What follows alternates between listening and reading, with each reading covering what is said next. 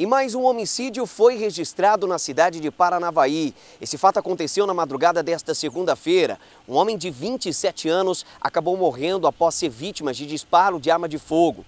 De acordo com informações da Polícia Militar, a polícia recebeu aí informações anônimas de que no local havia um corpo caído possivelmente vítima de disparo de arma de fogo. A polícia então foi até lá e constatou o fato. Uma equipe do SAMU também foi ao local e o médico constatou o óbito. Eu conversei com a tenente Bruna, responsável pela comunicação do 8 Batalhão, que tem mais detalhes sobre esse caso.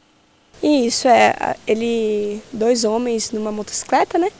Teriam visto ele e teriam já efetuado os disparos com, com o intuito de levar a pessoa ao óbito. Esse indivíduo, ele possuía passagem pela polícia, já era conhecido no meio policial? Sim, ele possuía diversas passagens por furto, por roubo, então ele, ele já era bem conhecido no meio policial. Já se sabe o porquê que ele teria sido morto? Seria um acerto de contas ou algo do tipo?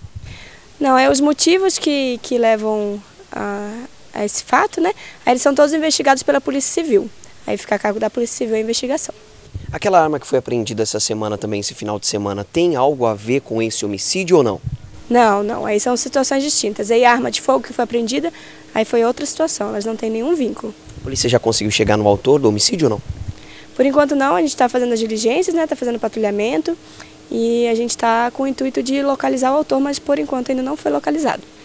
Agora, a Polícia Civil, de posse das informações, tenta identificar quem seria o autor desse homicídio e quais seriam as causas que levou esse autor a praticar esse homicídio aqui na cidade de Paranavaí. A vítima, de acordo com informações da polícia, já possuía diversas passagens, era conhecido no meio policial. Seria essa uma das motivações para que o autor tivesse praticado esse homicídio? É o que a Polícia Civil tenta identificar nesse momento.